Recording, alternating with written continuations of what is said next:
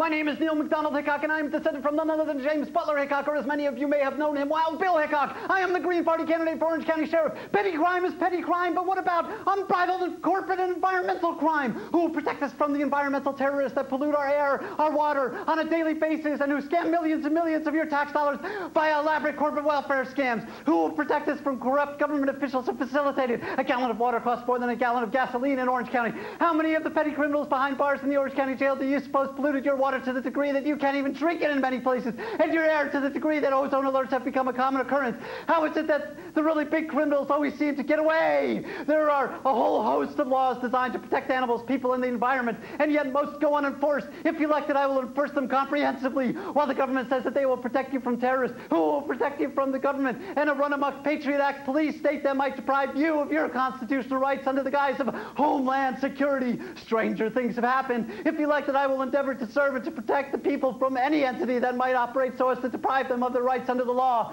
I understand that no legislative enact enactment by the state legislature or Congress, nor judicial ruling by state or federal courts can operate so as to deprive the people of our rights at law. I, I believe and will, if elected, protect the people's right to due process. I believe that no person is bound to obey an unconstitutional law and that no police agency or court is bound to enforce it. The people are the rightful masters of both Congress and the courts, not to overthrow the Constitution, but to overthrow those who would pervert the Constitution. If elected, I will resist the corporate conceived government-enforced marijuana and hemp laws and the Rockefeller drug laws. Let's face it, the drug war is nothing more than ethnic cleansing American style. Why is it that Orange County's communities of color seem to be singled out in terms of drug enforcement when we all know all too well that white folks consume just as much, if not more, of the drug supply? Our state already has one of the most racially imbalanced prison populations in the United States. New York State's own studies concluded that African Americans and Hispanic defendants receive harsher sentences than similarly situated white defendants. American, African Americans and other ethnic minorities make up nearly 90% of state prisoners. If elected, I will crack down on racial profiling and kangaroo cash register courts.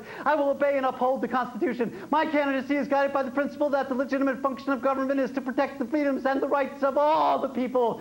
Family, friends, clergy, attorneys, etc., who visit and or correspond with prisoners of the Orange County Jail are not criminals and must be treated with the utmost respect and dignity, as should the prisoners and COs. If the County of Orange is unable to hold up its end of the bargain by guaranteeing the safety and welfare of all persons who enter the Orange County Jail, then I say, shut the jail down. If I am elected, you're the boss. It's your badge. I ain't no cop. I'm a people. I ain't for sale. I'm for the people, not for profit. Remember, if you want to take back your lives, your health, your water, your air, your government, and the future, vote green in November. Want to help drive the green wedge? Give a call at 845-294-1065. They already know who you are, so you might as well get louder and louder and louder. I'm serious.